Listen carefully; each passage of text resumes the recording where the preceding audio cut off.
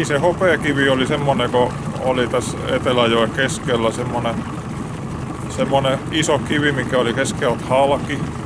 Ja sitten siinä oli, siinä aina ihmiset kiipeili onkimaa ja muuten retkeilemään siihen kivellä ja joltakin oli joskus siihen kiven halkeamaan, niin hopeinen taskukello pudonnut eikä sitä ollut saatu pois. Et siitä se nimi on se hopeakivi. Se on sitten jokiruoppauksessa hävinnyt ja kello on varmaan tuolla viikis jossakin.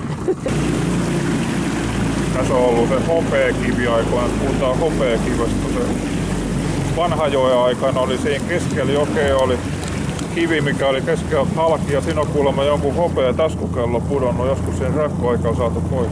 Ne. Me ei valla puhutaan hopeakivestä kaikki. Pääseekö tästä menemään? Mä menen pienen. Meinaanko me päästään tästä paatilla? Ei, mutta mä menen pienen kautta. Sen verran vaan, näkee minkä verran sitä tästä.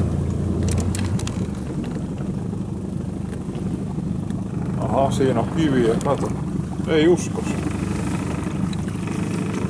Ne tää sitten oli kolissa.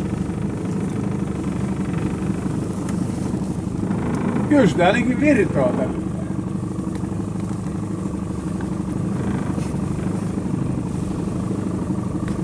Ei tää ainakaan syvä ole. Ottiko kiinni?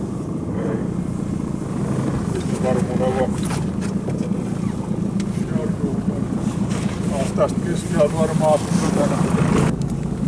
Souta, me, kun melomalla tulee komisti tuosta. Tulee, juu.